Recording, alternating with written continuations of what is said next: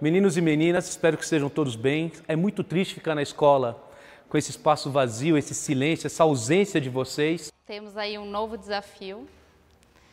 Vamos aprender muitas coisas. E tem uma coisa que eu sempre falo, que é quando cai o nosso teto, a gente vê as estrelas.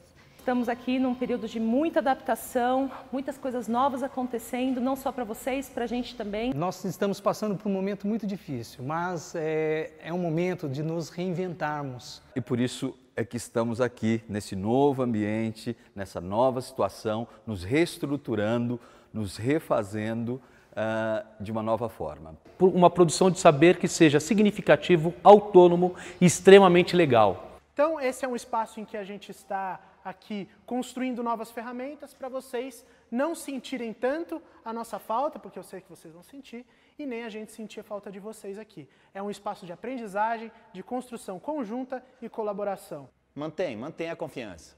E faça o que vocês têm que fazer, gente. Não é só curtir, pode se divertir, deve, ama a sua família, ama seus amigos, mas ama os estudos também. A gente continua com vocês, estamos online, estamos aí para o que precisar e já já a gente está junto de novo para se abraçar e se beijar e jogar bola e tudo mais. Solidão não quer dizer uh, especificamente que você está só. Você tem os livros, você tem o conhecimento, você tem a companhia do estudo. Então tenham certeza que no fundo todo mundo vai estar aprendendo muita coisa. Para a gente não está sendo fácil, mas eu tenho certeza que a gente vai conseguir. Obrigada pelo apoio. Mas dá para mandar um pumping heart.